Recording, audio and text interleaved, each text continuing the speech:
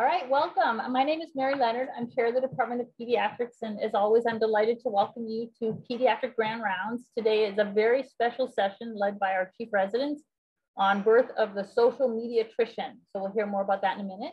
Just want to make sure people know about two uh, special upcoming events. Every year, we normally conclude our Grand Round series with a staff and faculty awards day. So this year we will do that, and I'll say more about that in a minute. But it won't be the conclusion of the year. Given all of the conversations and um, concerns just in the last few days about the mRNA vaccines and myocarditis, we really felt it was important, um, given our expertise here uh, in the department, to have a special session on that. So there'll be an extra grand rounds on Friday, July 2nd on COVID-19 mRNA vaccine myocarditis in adolescents and young adults. And then we'll welcome you back after Labor Day. We'll kick off the year as we do every year with the Norman Kretchmer Memorial Lecture Series and a special debt of gratitude to Dr. Phil Sunshine, who every year brings us just exemplary inspirational speakers. And this year is no exception, as Dr. Terry Inder is going to be speaking to us about improving neurodevelopmental outcomes in the high-risk infant, science and art.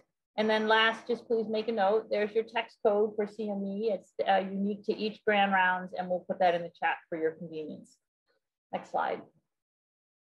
This is just again to highlight the, the depth and the breadth of awards that we'll be giving our faculty and our staff. We're so fortunate to have two of our awards named after, one after Fernando Mendoza for his leadership around diversity and Laura Bachrach for her uh, leader as a mentor and our mentorship programs, but many other really uh, important noteworthy awards and opportunities to celebrate the incredible work our faculty and significant lots of awards for our staff, especially over the last year when people have been innovating and showing great spirit and collaboration. So a lovely event to look forward to. And with that, I'm going to pass it on to Carrie Rassbach, who's our residency director, to introduce the chief residents and today's program. Thank you. Thank you so much, Mary. It is my great pleasure today to introduce our incredible three chief residents as they present grand rounds. They are going to be presenting on what was their scholarly project this past year, which they have also presented at the APPD national meeting at PAS and at our pediatric research day. And they are currently preparing a manuscript as well. I'd like to take a moment to highlight each one of them, and I'll start by Dr. Samantha Scanlon. She did her undergraduate at Harding University, her medical school at the University of Arkansas for medical science, and then came to us as a resident and was in the clinical research track here at Stanford, where she studied infectious pathogens in patients who had undergone CAR T cell therapy for cancer. She is a skilled clinician, teacher, leader, and scholar, and utilized all these skills in her role as chief resident.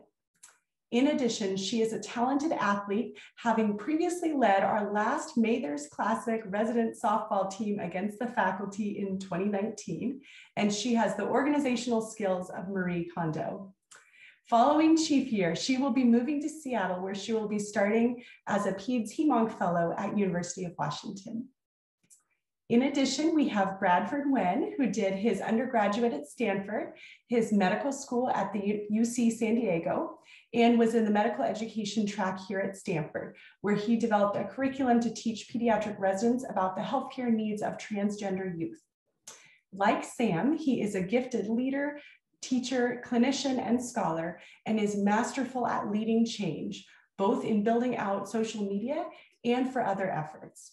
As an example, this year, he largely developed and led our transition to the X plus Y schedule within the residency.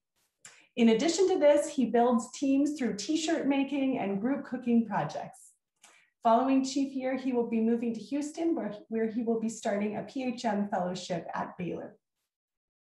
Next, we have July Lee, who did her undergraduate at Stanford, her medical school at UC San Diego, and then joined us here at Stanford, where she was in the STAT track um, looking at barriers to care for Latinx patients in the Stanford Pediatric Emergency Department. She is a gifted teacher, scholar, clinician, and leader.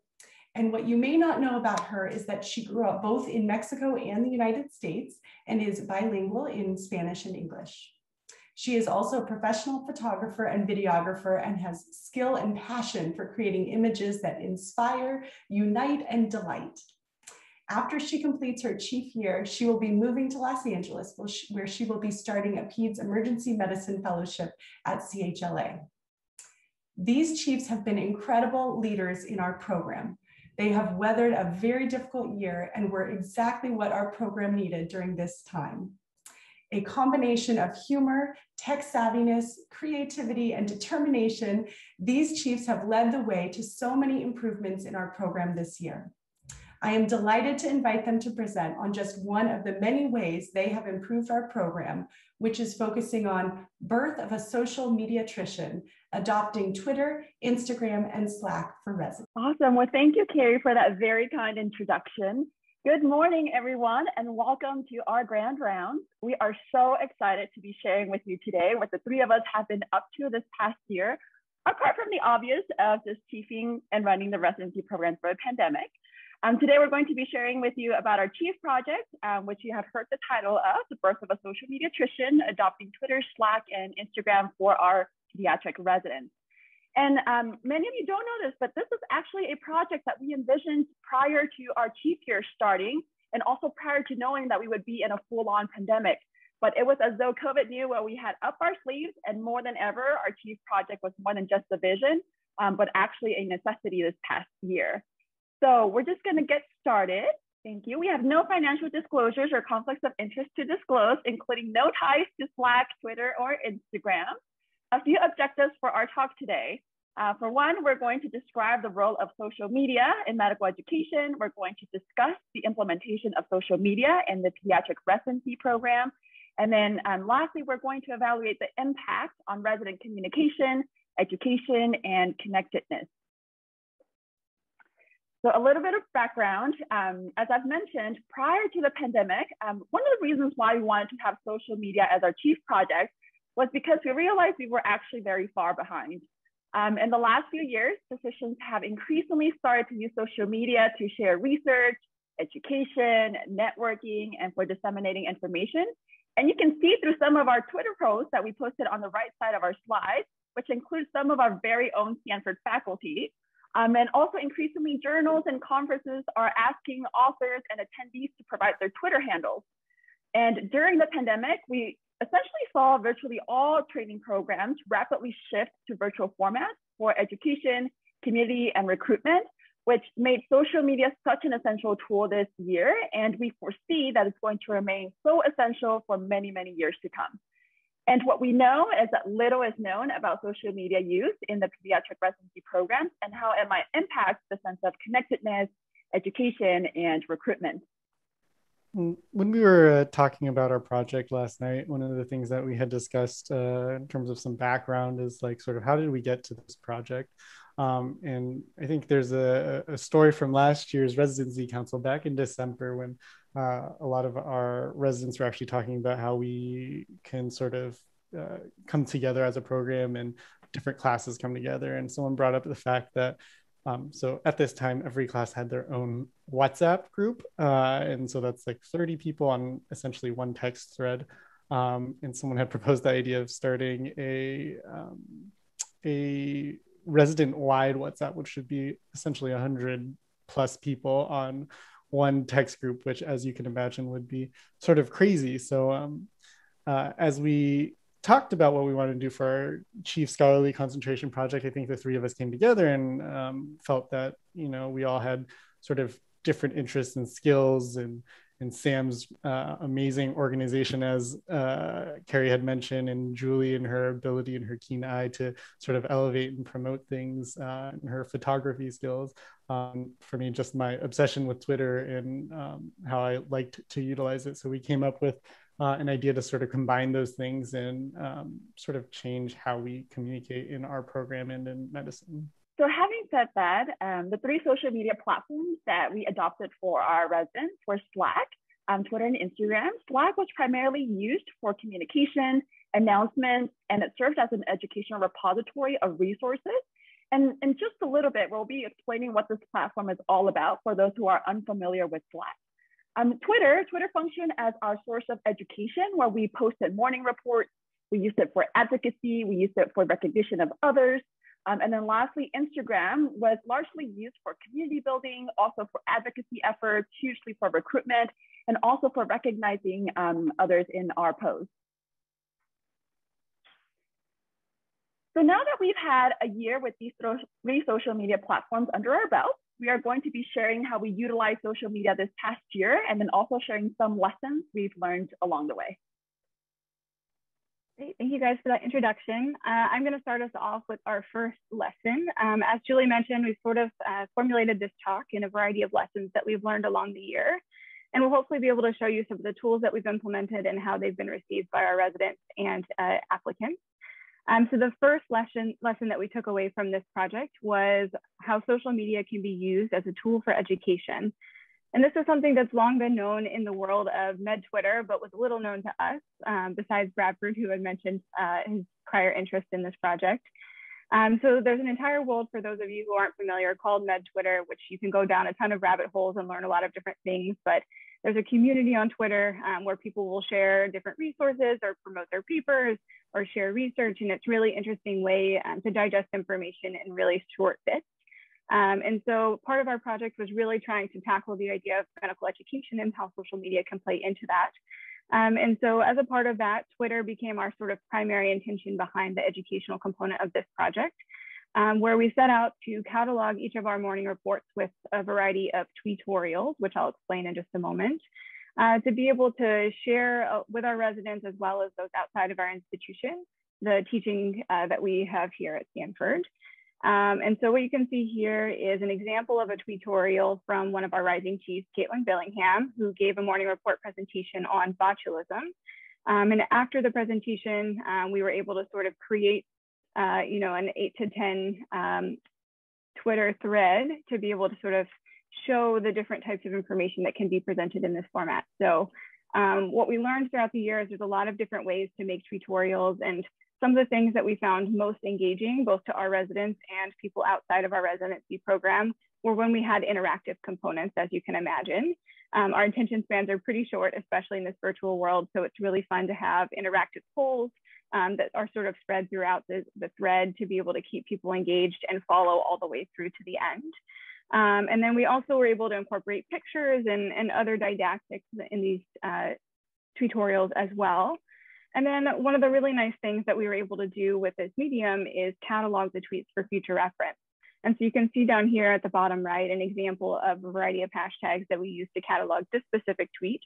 Um, and we sort of kept this theme going throughout the year so that if you wanted to go back and reference a specific topic that you maybe heard a presentation on, or maybe that you missed that presentation, because you were at offsite. Um, this way you could go back and um, find that information. Or, you know, if you remember hearing something about botulism and then it comes up as a differential when you're on the wards, you can easily search it.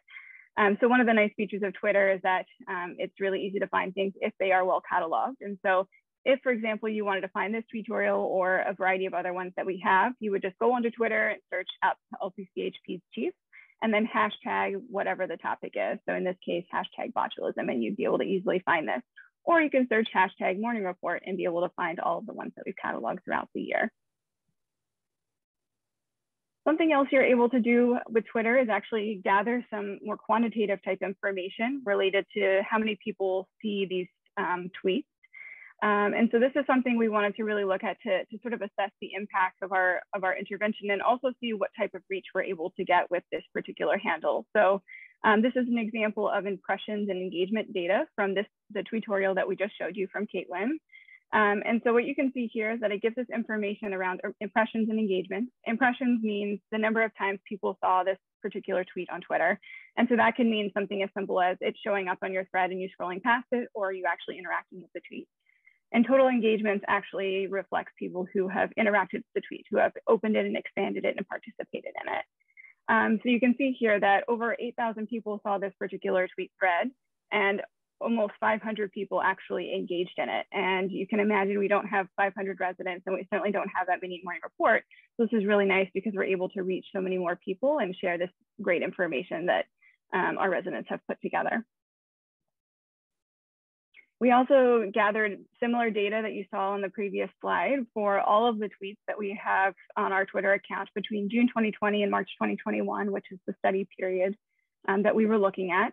And we sort of categorized them based on the type of tweets and, and what they were focused on, whether it was advocacy, didactic summaries, which is sort of our tweetorials, um, whether we were recognizing colleagues, using it for recruitment, and then a variety of other things that could be a component of those tweets, like if it had a poll in it or if it had a video in it.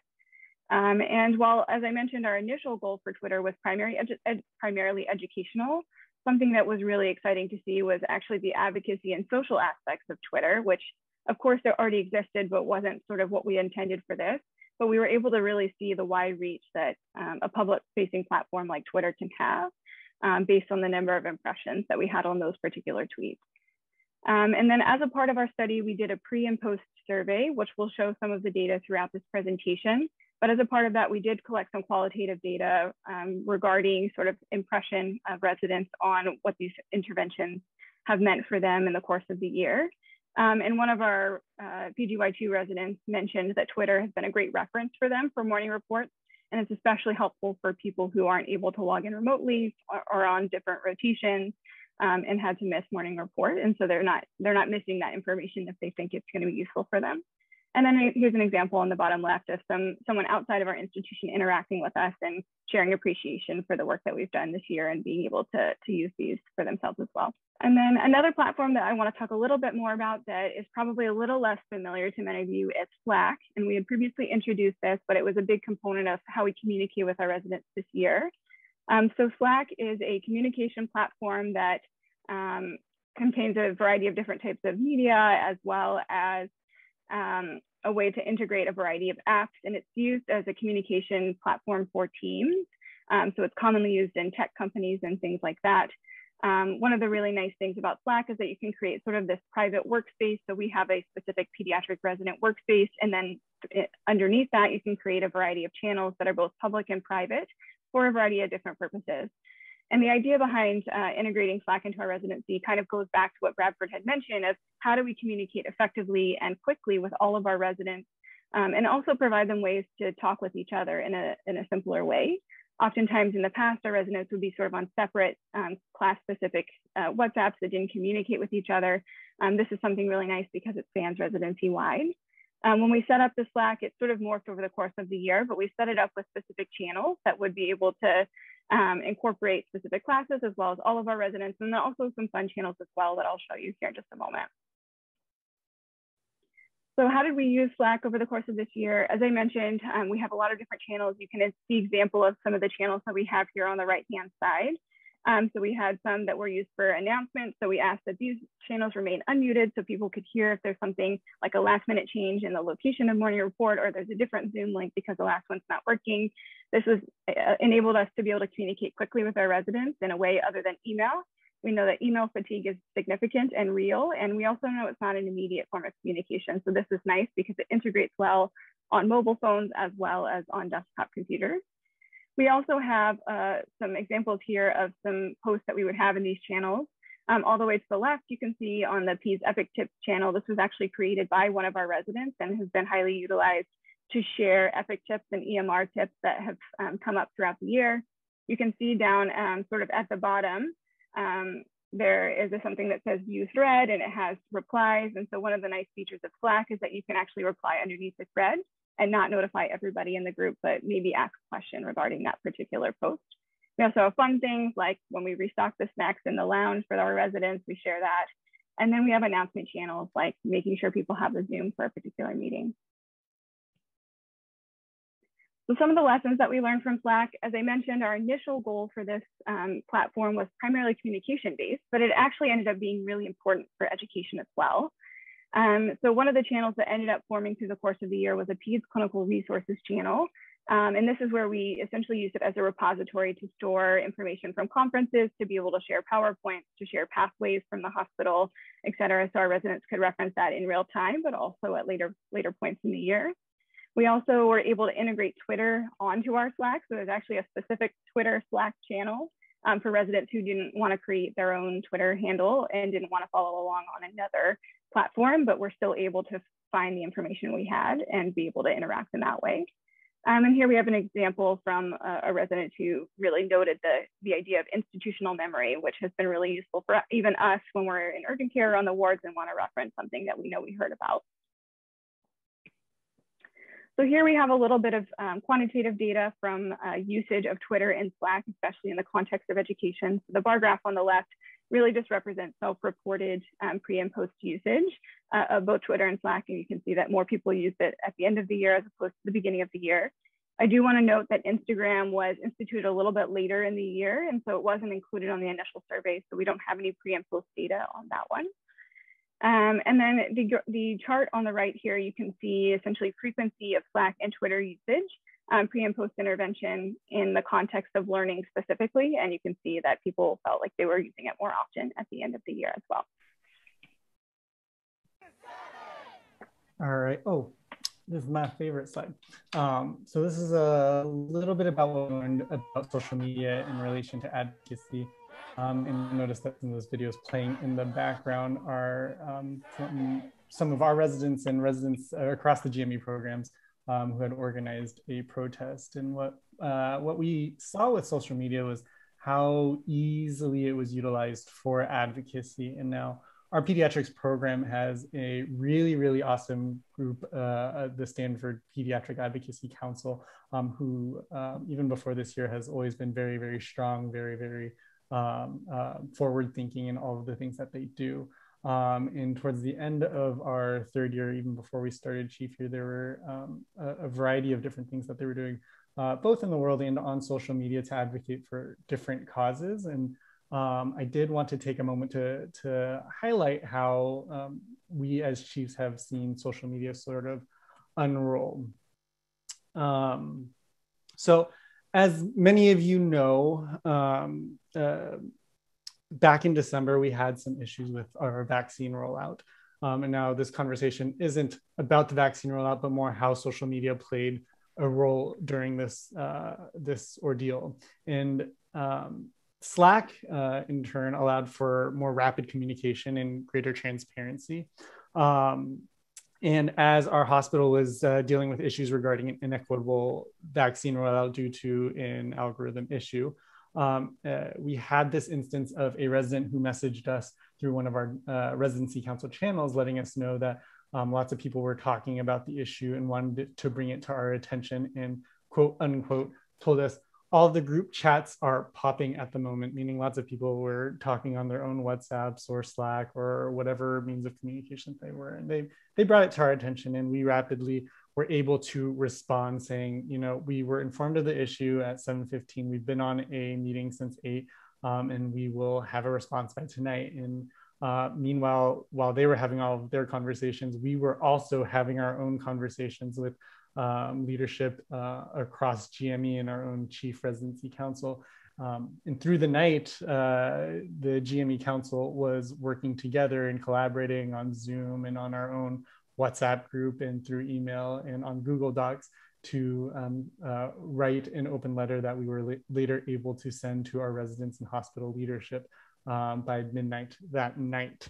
Um, and you know, one of the things uh, that we learned was well first off we we do get lots of feedback and and with instant messaging it makes it a lot easier to give feedback and we always encourage our residents to give feedback uh, when possible um, and in this instance they they did feel supported uh, and this was feedback that we appreciated um, i think uh, residents really quickly took to social media during this uh, this uh, these events and um, they wanted to facilitate discussion and enact change. We stood beside them. Uh, we publicly and unabashedly posted statements in defense of our residents advocating for change.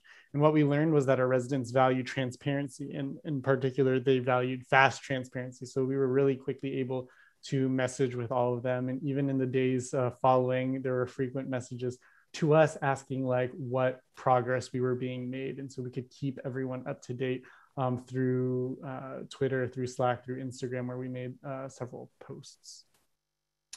Um, and then residents themselves were were posting lots of things, and um, many many things came out of uh, uh this event last December and January. Um, and some of them, many of them were positive things. Several residents, me included, uh, received an outpouring of support from our colleagues across the country, um, whether that be our uh, former co-medical students at other programs, uh, many who were remarking that resident unrest at Stanford was making um, their programs sort of look at their own um, vaccine algorithms and rollout processes um, to prevent a similar situation from happening um, there. Um, and then so what also, uh, in addition to that, um, you know, a community was formed uh, out of this. The Chief Residency Council had their own WhatsApp and then alongside that, there was a 220 plus strong GME house staff WhatsApp that um, sprung up during that. And for any residents who are on this call that were part of that group, remember the hundreds of notifications that we were getting uh, in December and January from everyone who wanted to contribute and had an opinion or were posting different uh, news articles to, to quickly um, discuss what was going on with everyone in GME. And now, you're probably asking, well, Chiefs, you're talking about WhatsApp, but your project was on Slack. So one of the really cool things um, to note is that Slack does offer some different capabilities that WhatsApp does not offer. It's a sort of a closed system that people can pop on and off um, of different groups or channels uh, and allows for customizable communities. Uh, and then threading the messages allows for clear messages. So it prevents people from being completely inundated with messages and being lost in it and organizes it in a different way um, that makes communication a little bit more efficient. Um, and so, from that standpoint, uh, one of our most recent GME council meetings, we were actually talking about, you know, the WhatsApp was really great in January and it sort of died down, likely related to um, uh, a lot of the messages that were going on, sort of making us inundated. And so we've actually had a conversation about transitioning that over to Slack and getting all of GME house staff onto Slack. And so uh, some of you may have received an email already about enrolling into Slack, uh, the Slack GME wide house staff group. So this is uh, certainly something that's that's spreading. And even last night, uh, one of my colleagues, who's a rising neuro uh, chief resident, um, texted me um, saying they saw our announcement about grand rounds today and was actually wondering if they could um, touch base with us and ask about um, ask about uh, integrate the potential for integrating Slack into their own program. So it's certainly something that people have seen useful and um, has uh, potential for uh, other areas of the hospital as well. And now going back to our conversation about advocacy, you know, a lot of residents have been um, taking to social media to promote different causes. And um, I know all of you remember back when we were posting our, ins- our selfies from our vaccinations to uh, encourage other people to get the, their vaccines as well. Um, and then our community rotation um, has even encouraged uh, our residents to partake in advocacy on social media as well. And um, that video on the right that you see was some of our interns promoting mask wearing very early on in the pandemic. Um, uh, very, very early in the year, this was June of last year, um, our advocacy group also um, uh, organized a rally, the White Coats for Black Lives rally, and social media was certainly um, a portion of that rally, getting people together. It was crazy how fast um, sort of the message about this rally spread, um, and we uh, wanted to support our uh, Advocacy Council, posted um, some announcements uh, alongside them and really found that in the end, uh, our advocacy posts um, garnered a, far more attention than um, a lot of our even more educational posts. Um, and then there were a variety of causes throughout the year um, that our residents were partaking in, um, in trying to promote things on social media. And in the pivotal election of last year, a lot of them were um, getting out there and trying to uh, rally the vote and so now we transition to our next lesson, which we um, use our social media for a lot this year, which is for recruitment. Uh, we've learned that social media is a very important tool for recruitment this past year, and it's going to remain so. Um, we've seen that applicants and heard that applicants visit and learn about residency programs through program social media accounts, particularly in light of virtual recruitment, where they were not able to come in person um, to visit these programs. And they also engage with programs um, and their residents in the form of private messages, comments, and likes on posts, uh, which was in the case of our program. And as far as we know, recruitment will remain essentially virtual again this upcoming year. And so will also be extremely important for us to keep up with uh, social media in regards to recruitment, not just for our residency programs, but also for uh, fellowship programs at WISE. And so one of the biggest uses of our Instagram account was to showcase our program and our fantastic residents and faculty. And so we uh, will be talking a little bit about all these different things that we did with our Instagram, but we did the Behind the Mask series, which I will show you all in a little bit. We used it to also showcase rotations. We did resident shout outs and faculty shout outs. Uh, we shared a lot of videos throughout the year. We also used our uh, social media platforms to do announcements and then also to um, promote advocacy. And so here um, are some examples of videos um, that our very own residents um, did on their own initiative. Um, and something that our applicants have shared over and over again, how much they appreciated seeing these videos. And so on our left is a video um, of our LPCH dance tour, which was, you know, organized and initiated by two of our amazing residents. Um, in the center and on the right side are also some of our residents um, sharing videos of themselves and the day in the life of. Here you fill in the blank of an intern or a day in the PICU.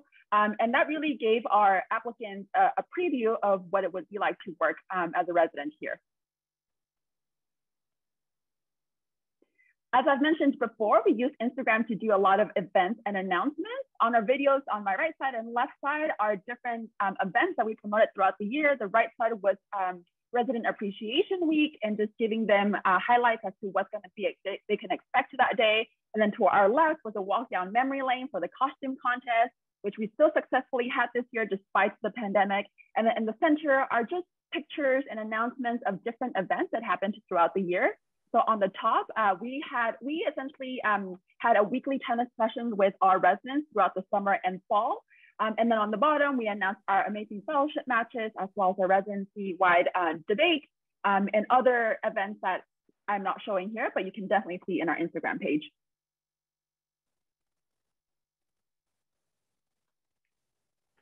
So uh, something that has been so well received and continues to be very well received and people ask more of is um, what we call the Behind the Mask series.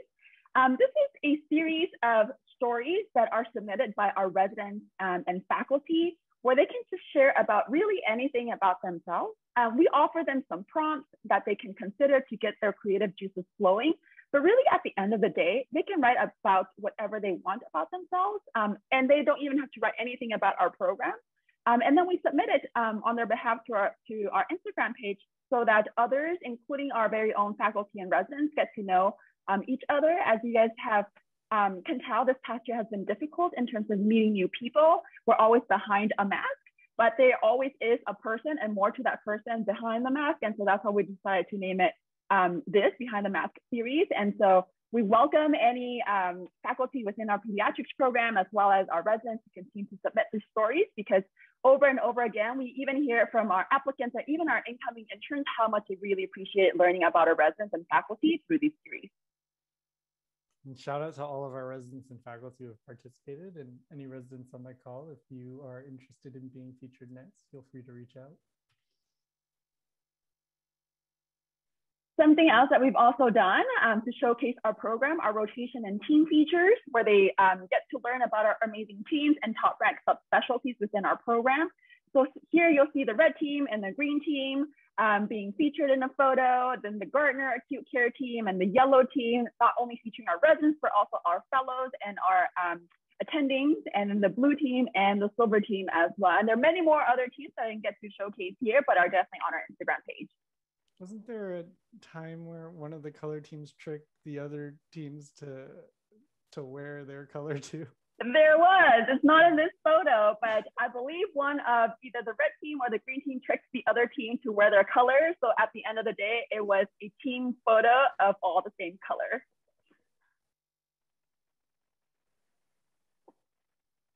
So something that I also would love to highlight is this Instagram Live series, which I really want to shout out and highlight our residents because this was done in their own on their own initiative. Um, and we love our residents so much for it. Um, so it was their idea to bring what is called an Instagram Live, which is a feature on our Instagram where they essentially go live on the camera. Um, and also applicants are told, you know, at 5 p.m. tomorrow, we're gonna go live, come join us for a Q&A session. We know this virtual recruitment season is tough, but we really wanna be there for you and answer all your questions. And so this was organized by our residents. Um, and they just asked us, could you help us moderate or just like, can we use your account? And like, hands down, of course, will be there to support you. And so they did um, three series. One was a Stanford Peds Combined Program Q&A, uh, moderated um, by our uh, by our residents. Then the second, uh, one of the other ones was a Q&A with a Peds categorical. And then the last one, a diversity, inclusion, advocacy at Stanford Peds. And again, I wanna highlight that all of this was not even influenced by us, the chiefs, was all resident led. And what really highlights the power of including your community in your social media efforts. And I also wanna highlight a video that they made on their own um, to also showcase our program.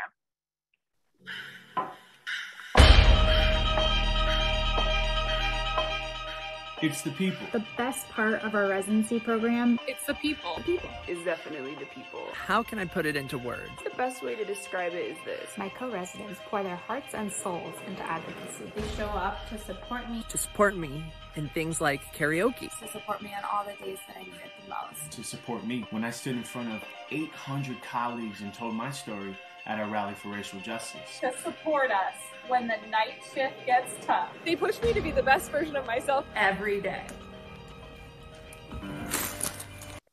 And then um, when we asked our current incoming intern class um, if they ever visited our Instagram page this past recruitment season, um, a whopping 81% of them um, said that they did visit our Instagram page during recruitment season and actually found it very helpful. And so shout out to our incoming intern class who are now with us at the LPCH sort of campus. Um, and we are so excited to be welcoming you to our Stanford family. All right, so moving on to our next lesson. Uh, another big thing that we wanted to tackle this year was this idea around connectedness. Um, this was even something that we were concerned about even before COVID, and of course was made even worse during the pandemic. Um, being in a pretty large program and having various clinical sites and variety of tracks, um, we wanted to be able to figure out a way to connect our classes uh, to each other and make them feel a more part of our family. Um, and so we were hoping to tackle that a little bit more with our social media project. Um, so here you can see some uh, representative quotes as well as some data from our pre and post survey um, in the area of connectedness based on resident perception after our intervention. So I'll first draw your attention to the table on the right here. Um, this shows the effect of our social media interve intervention on the perception of connectedness to and within a variety of groups. Um, and of course, this year was compounded by COVID, so it's a little bit hard to interpret some of the data. We know that it was hard to feel connected to anyone this year, but something that I want to bring out here is that um, at the end of the year, um, we saw that there was an increased perception of connectedness between residency classes, meaning between the interns and juniors and juniors and seniors um, which has always been something that we've wanted to work on. So we're grateful that that's something that definitely changed over the course of this year. And then um, you can also see a, a, few representative quotes from our qualitative survey um, in regards to especially Slack and Instagram in the area of connectedness. Those were the two that ended up touching on that piece a little bit more often. Um, so the first quote here up on the top left, um, one of our residents said that they felt like Slack allowed them to communicate between classes more and kept them up to date on events and notifications in the residency program. They also felt that Slack was effective for communication and organization. And then um, they also had kind of this general sentiment of having greater connectivity to the program through Slack. Um, in terms of Instagram, um, a, number of our residents um, have commented on this, but a couple of quotes that we've shared here is that um, one resident felt that Instagram definitely made them feel more connected in the program, and especially during a time when they weren't able to physically gather. Um, and then another resident just again sort of reiterating this Instagram creating the sense of belonging and connection to the program. Um, here we have uh, a few examples of our own residents and their own social media. Um, oftentimes, um, our residents will make posts or stories, especially on their Instagram, and tag us to share it more broadly. Um, and a lot of these are shout outs to, to their friends that um, they enjoy working with or events that are happening in and outside of the hospital. So here you see an example of some cookie decorating with our social community. Um, after match day, our new child neuro interns FaceTime each other um, and getting to meet one another. Um, two of our current interns, Braden and Christina, sort of sharing about their experience on uh, intern night float together. And then some of our residents during the holidays sharing in some of the, the holiday fun as well. Um, Slack became, uh, a, as I mentioned, a very big part of our communication mechanism. Um, and you can see here sort of a run chart of messages and files throughout the year. Of course, it varied from time to time, but um, we were able to collect some data saying that over 50,000 messages were sent over the course of the last um, 10 months or so um, across uh, all channels in our uh, pediatric residency platform. All right, that brings us to lesson number five. Um, and I think this is something many of us are and should be aware of. Social media is not perfect and has some of its own problems as well. Um, and it's something that we as pediatricians may even uh, talk with some of our patients, especially teenagers, um, about. Um, so the first thing that we wanted to talk about is hashtag FOMO. Uh, and for those of you not know, uh, FOMO stands for fear of missing out. And that's uh, something that uh, we millennials use to talk about um, how we want to be at things and sometimes can't. Um, and so in our qualitative data, there were some notes uh, from some of our residents who had, uh, who, who evoked a sense of FOMO uh, with a lot of the social media that we were posting. So in one instance, a PGY1 said, I do feel like sometimes I'm missing out on things that are posted on social media, but aren't communicated through other platforms. Um, and that also goes to show that everyone has their different preferences for how they want to be notified by things, whether it's texting or emailing or through any of the number of social media platforms that we use. Um, and unfortunately, we can't do everything because we also want to uh, protect our residents, uh, but that certainly is something that we need to be aware of, and that um, uh, some people may not receive all of the messages that we send them. Um, and then one of the other things that we noted in our qualitative data is that some uh, some individuals may feel that what's posted does not always align with uh, their perception of things.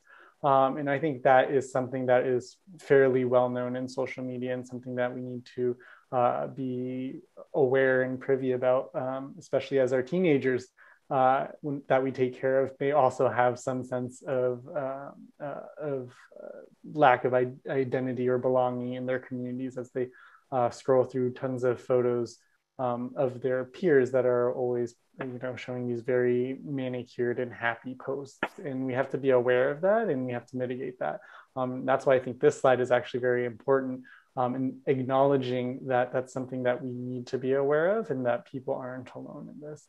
Um, and in this instance, uh, we had a PGY3 who mentioned that the only social media platform I somewhat followed was Stanford Peds Instagram, and the photos, videos understandably tried to paint a very wonderful picture for applicants, which felt disconnected from the feelings of the actual residents.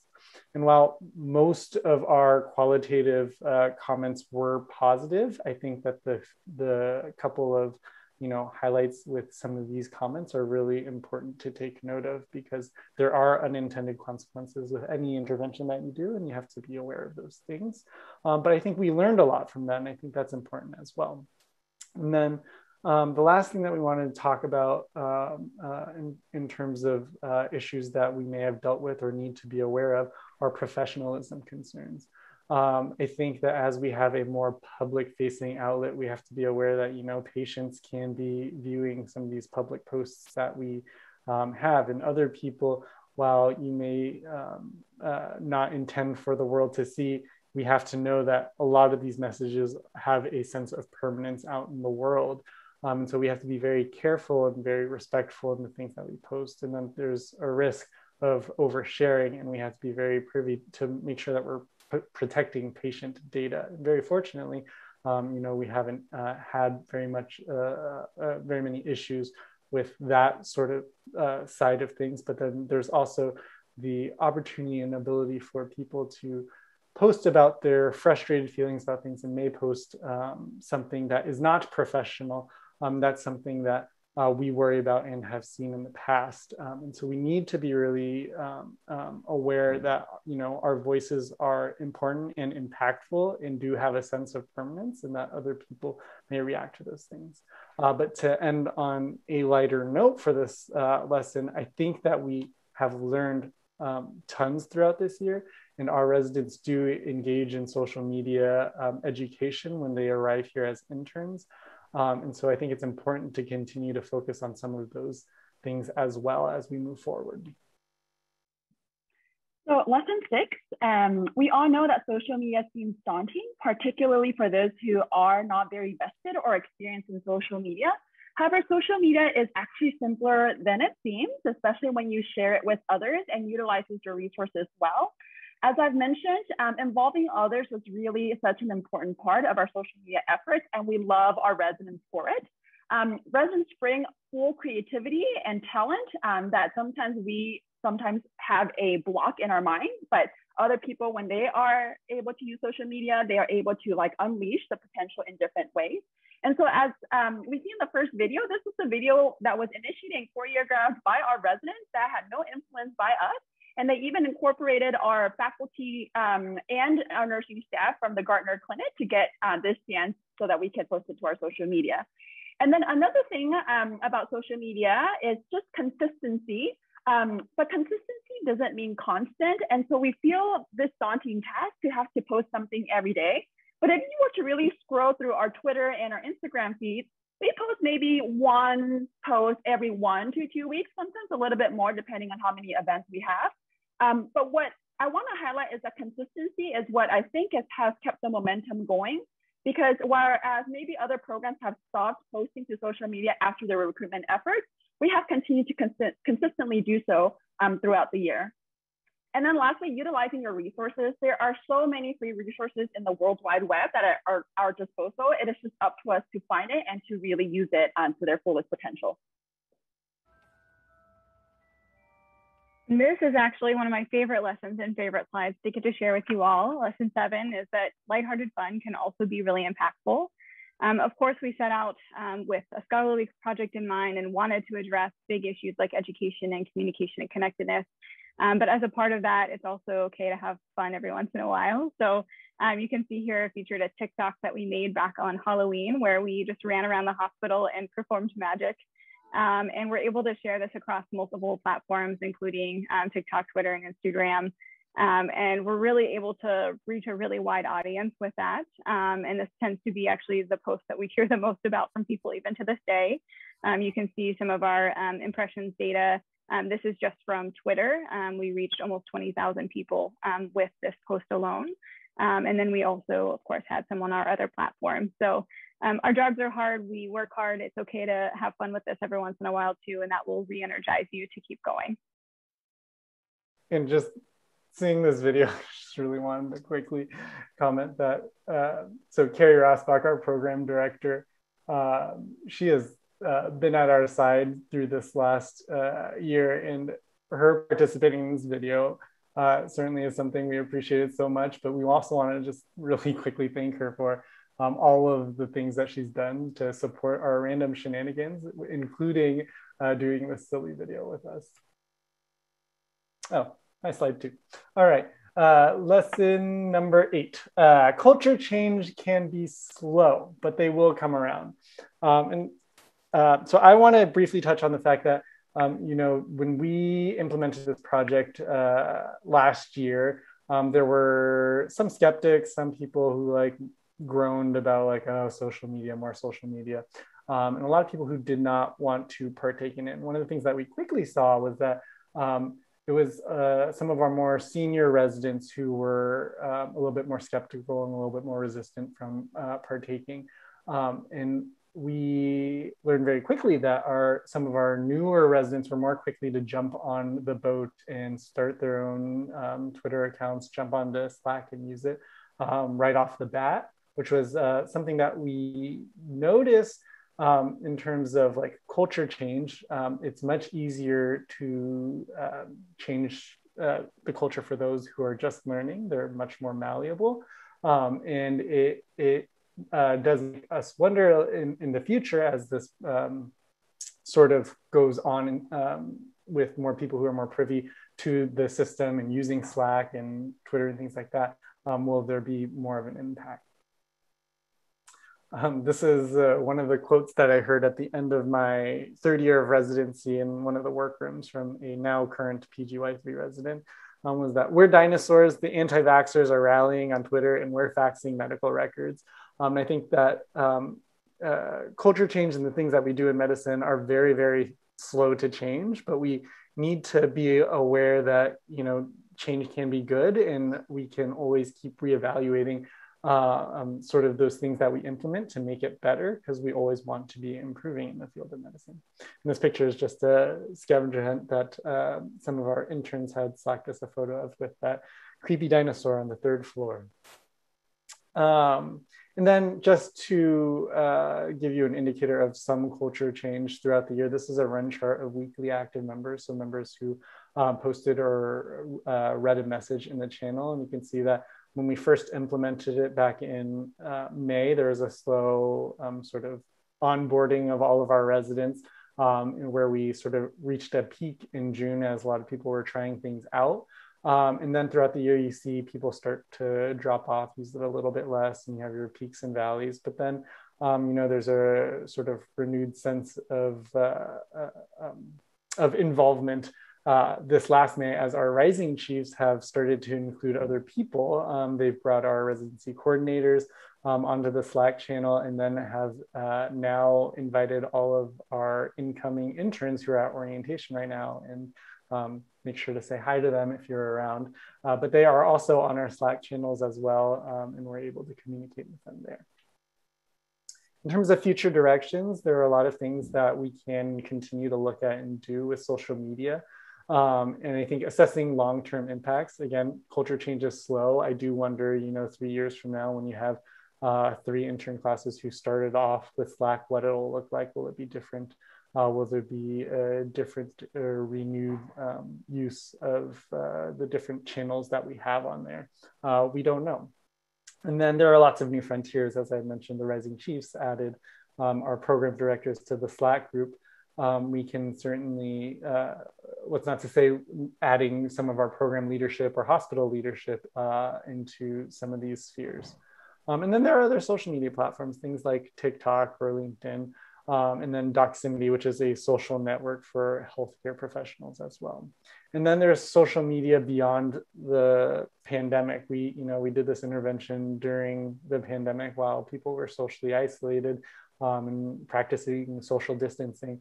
Um, I am curious to, we are curious to see what uh, what else is there and what capabilities there are when people are uh, you know together and potentially could be interacting on social media in the same room uh, at conferences and things like that.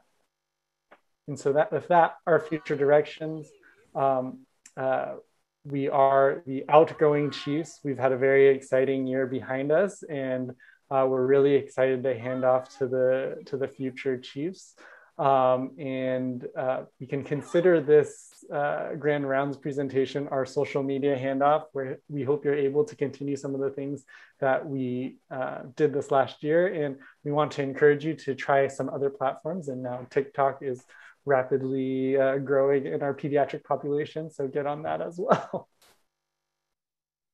All right, we are now at the at the end of our Grand Rounds talk. If you haven't already, definitely do follow us on Twitter and Instagram so that you can continue to get to know our residents more and also see what's going on within the program um, in the year to come. And so if you peruse through our accounts, you may be surprised with a dance video, a song by our talented residents, and stay up to date with residency announcements. Um, but truly, thank you all for supporting us in our journey this past year through your comments, um, your encouragement as we're walking down the hall, and by um, engaging with us on our social media platforms. Thank you, Chiefs. We've got a bunch more questions, both in the Q&A and uh, some that have come through the chat. So I'm going to ask you a, a, bunch of questions if you could um, answer as um, concisely as you can so we can get through them. And I know some people will have to sign off, but we'll, we'll try and get through a few more of these questions. Um, one question is, how do you decide uh, whether to use email or Slack for particular communications? And when is email better? When is Slack better? That's a great so, question and one that we ask all, ourselves all the time. Um, I think when we when we have something that we really want to make sure that no one is missed and it's important, um, and it's not something that's happening five minutes from now, that's something that would go out in an email. Um, it's not uncommon for us to sort of double post. Um, so we'll send something in an email and also send it out on our announce page um, so that people can see it immediately. Um, but if it's something that we just are trying to share quickly, um, or it's something that a little bit more fun, we'll send it through Slack. And then if it's something like a poll that we want to just get sort of like a snap poll, that's something, of course, that could be done through Slack. Yeah, one of the funny things is that that that I think about when people ask me that is um, our intern year, the chiefs actually used paging a lot to notify us of things, and so a lot of us would get that 8 a.m. page saying like, "Come to morning report," and so residents today don't know the pain of waking up post call to hey Kate, come to 8 a.m morning report page.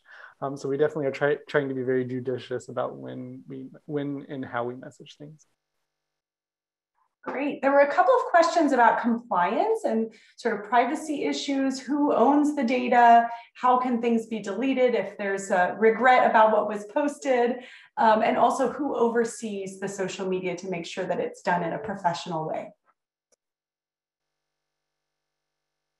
I think there there are multiple parts of that, and I think so. There's the more private and personal um, individuals who make posts, in which case, you know, they are uh, functioning adults. They are the ones who are operating their own uh, personal accounts, and we're not moderating their speech.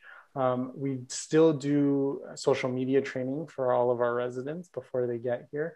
Um, and so there are certain things that they need to be aware of and not post about um, and have the balance of both respect and responsibility in our positions as publicly facing people, uh, much in the same way that if you were to speak in the town square publicly, you are held liable for the things that you say. Um, for our own accounts, you know, we uh, we do want to function in a professional manner, and we sort of uh, moderate our own posts.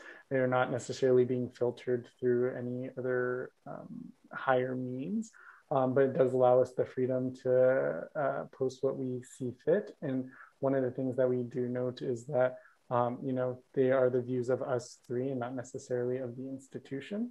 Um, and I think that's something that people need to be aware of. Um, but there are certain liabilities in terms of who um, hosts the the content on the servers or who owns it.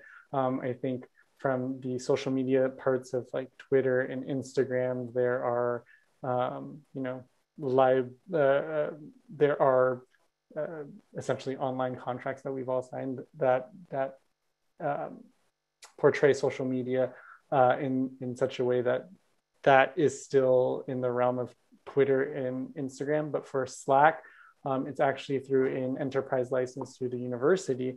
Um, and so these are on um, uh, uh, Stanford University controlled uh, um, servers, much in the same way that you know our Microsoft license uh, holds email. I'm not privy to all of the, the details of it, but we essentially treat uh, Slack like it is our email, and that you know we should still be uh, messaging each other with you know respect. Um, and i think that's an important responsibility that we all hold individually.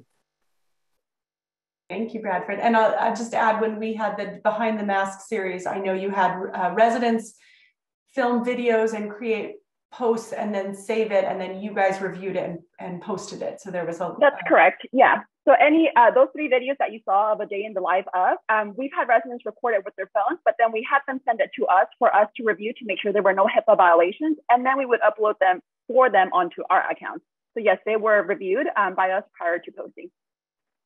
Great, thank you. There was a question about whether you will be publishing your analytics and best practices from this work. That's the goal, and that's what we're working on at this time. So stay tuned for more. Great. There was also a question about uh, what is posted on social media. This is by our new Dr. Abadia, who um, is asking about whether we should post both, you know, the less positive parts of being a resident as well as the, the positive parts of being a resident. Um, and should we be transparent about what residency is like, how tough it is? Um, and should another aspect of the program uh, be that showing people are human and genuine? I think it's a great idea, and we would love Dr. Abadia to help coordinate something like that. I'm sure that the Rising Chiefs would really like it. I think I think it is important. We've you know we talked about the value of transparency, and that's something that's come across loud and clear this year. Um, and we also don't want to just continue to perpetuate the myth that you know everything is fine and dandy when it's not always that way.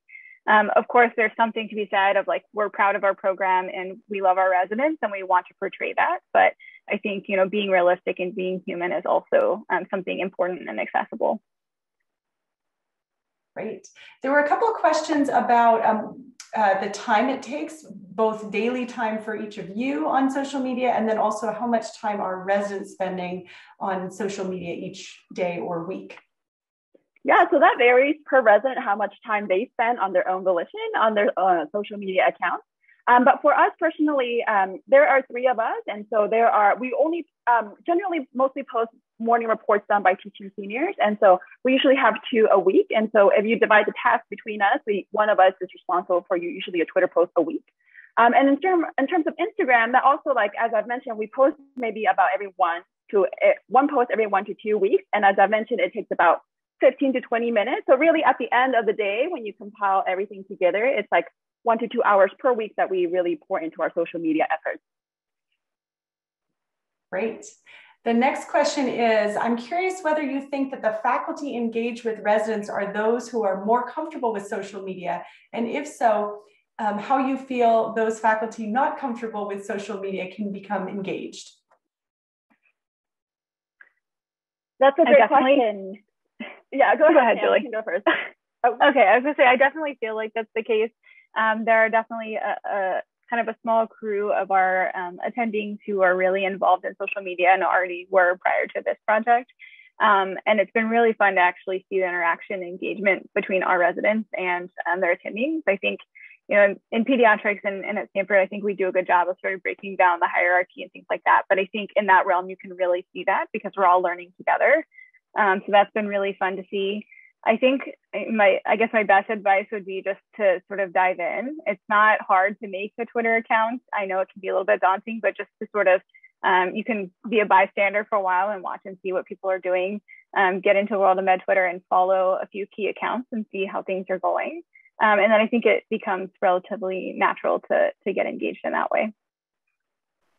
I think there's a spectrum of social media use. Um, like when we set out to start this, there were a bunch of people that we recommended uh, other residents follow. And, you know, our last week's Grand Round speaker, Dr. Kimberly Manning, was someone that we all followed on Twitter, and we're very excited to have her uh, present.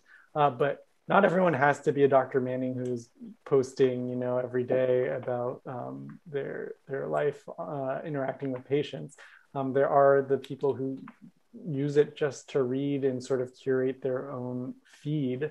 Um, doesn't necessarily require participation, but sometimes it happens naturally, and I think that's great. Excellent. The next question is Did residents express a need for training related to online conversations with vaccine hesitant individuals as a result of promoting the COVID 19 vaccines? You know, I don't think we we did not formally organize any sort of uh, training around those conversations, but I do recall um, several of our morning reports led by our teaching seniors who have uh, talked about, you know, vaccine promotion and how we as physicians have a duty and responsibility to promote those vaccines. Um, I think a lot of people also encouraged one another to post their vaccine selfies for exactly that, to encourage other people to say, hey, it's safe, let's do this let's do this together. But um, I, we did not have any specific formal training on that. Excellent. Uh, two more questions uh, from Dr. Blankenberg. What do you see as the next frontier in social media and education, both for our program and nationally? TikTok, Dr. Blankenberg. No, I'm kidding. no, but honestly, I do think that a lot of people are flocking over to um, things like TikTok to even teach. Um, and I think more than ever, I think we're still dragging our feet in terms of even getting our Twitter account or getting onto Instagram. So I think those are the first few steps that we really have to get everybody on board with. Um, and then uh, together we can tackle the next, next frontier. Yeah, and I think there are tons of new opportunities and like we mentioned i think it's it's involving the different areas of the hospital and our um, educational leadership um, and finding ways to make education more accessible one of the things that we saw this last year was medical students really jumping on the um, jumping on the social media train. And uh, for pediatrics, uh, there was the uh, uh, not Stanford, sorry, the Future Peds Res um, sort of uh, coalition or group of people who led this social media effort to help other applicants navigate the application process in a really weird virtual season that was unprecedented. And that was really cool to see you know medical students sort of engaging and connecting with one another in that way. And i think there's so much opportunity for um, uh, you know linking across different organizations. And i think that's that's our next step is finding ways to get you know pediatric residents not just at our institution together but all over the country Great. The next question is about work hours and whether residents' time on social media should be counted as part of their work hours and how you get them to separate uh, and not necessarily engage over the weekend. That's an interesting question. Uh, I mean, well, for us personally, I, I, think it really is up to us. Um, this fluidity of how we want to use our work hours.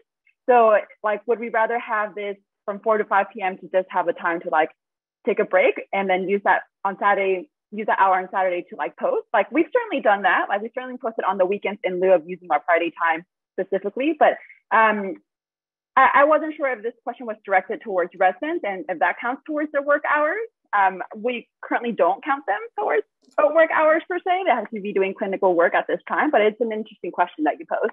Yeah, I, I think of social media sort of as like your own personal education, much in the same way like we yes we might count formal and required didactic teaching as work hours but we don't necessarily uh, have like you know at home reading of journals as part of work hours. So i think in the same way like this is essentially the new age equivalent of reading a journal article just maybe more recently published in in real time.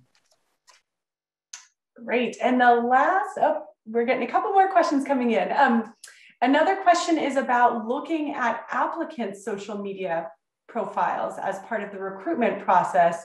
Um, how do we, what, what role do we um, do in that and is that appropriate? I think anybody who posts things on social media have to be aware that it's public um, and that they should be responsible adults as to what they decide to post on there. Um, and so at, maybe Carrie, you can also even answer as to like how, how we go through our applicants and, and whatnot and what are our processes in terms of social media as well. Yeah, I mean, it's a really good question. I have heard of uh, programs looking specifically at folks' um, social media profiles. We currently don't routinely do that. Um, so we, we take their file that is submitted to us um, but I, I, guess if there was something that was brought to our attention that was a concern, I think it would be hard to, you know, ignore that. Um, but we don't routinely search through everyone's social media profiles. And there's so many different modes of social media that I'm not sure how we do that well. Um, I think this is the last question. Personal, family, friend, circles, hospital, lab, university, employee health, public news groups, um, send email, tweets, Snapchat, WhatsApp, Slack messages. How do you manage residents who wish to opt out of more obligatory message channels from work, residency, etc.? Before and after work, I get screen toxic and pressure to keep up is harsh. I think the key term in that question was obligatory work. I, I think when we went about implementing this, our goal was not to make it obligatory. We you know our initial goal was just to get everyone on it to take a look around to try to utilize it. Um, and like uh, i think sam had mentioned earlier you know we tried to uh, we tried to make our messages and we think of them like w- what is required reading and that typically goes out in an email. And then the more like gentle reminders or things that aren't necessarily like have to be seen um, uh, go through slack. And i think the, the, the function on Slack of mute notifications, which I did before this even started for two hours, I think is totally appropriate. And I think people need to realize that, you know, off time is off time. And just like an email, if someone does not respond, that is their, you know, personal time and they don't need to be doing that. Um, and I think we all need to take that time to ourselves where we shut off the computer and get away from our phones for a little bit. Um, but I think that takes a little bit of uh, personal pushing, but we very strongly in our positions did not want to force this on anyone. Great. And I know you have some data that not every resident has joined Twitter or Slack, even for that matter, and that is a choice, which means we do have to use email for essential communication. So. Well, wonderful. Huge thank you again to our incredible chief residents and thank you to all of our participants who stayed on until the end. Hope everyone has a wonderful day. Thank you, everyone. Thanks, everyone. Thank you. The preceding program is copyrighted by the Board of Trustees of the Leland Stanford Junior University. Please visit us at med.stanford.edu.